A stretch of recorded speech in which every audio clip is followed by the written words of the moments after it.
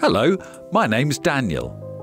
Today we're reading Two Bears by Patricia Hegarty and Rotem Teplow. So get comfy and I'll begin.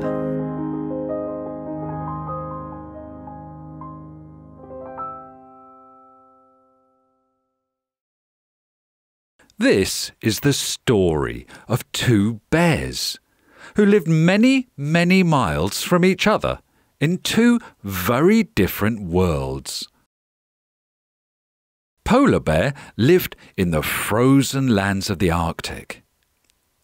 Grizzly Bear lived in the heart of the northern forests. Polar Bear spent her days diving and swimming to the depths of the icy blue ocean in search of food. Grizzly Bear's hunting grounds stretched through pine woods and clear, sparkling rivers. They may have lived far apart, but when night fell, the two bears would rest beneath the same starry skies, gazing up at the same silvery moon.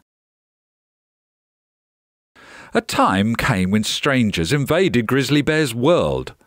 Fires raged through the forest as man sought to tame nature. Meanwhile, Polar Bear's home was in peril as the weather became warmer and the ice caps began to melt away. The lives of the two bears were soon to change forever as they were forced to seek a place of safety. And so the journeys began. Polar Bear turned her face determinedly to the south. Grizzly Bear began a grueling trek northwards in search of food. The weeks passed, and the two bears journeyed on through snow and wind, sunshine and rain. They grew thinner and thinner as food became scarce, but the bears knew they must stay strong to survive.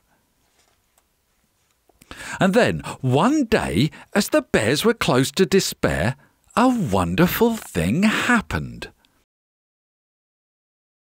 The two bears from two different worlds came face to face. Was this to be their new home? The bears quickly learnt that they had much in common, despite the different colours of their furs. The things that they shared were far more important both craved food and shelter and to live their lives in peace and harmony.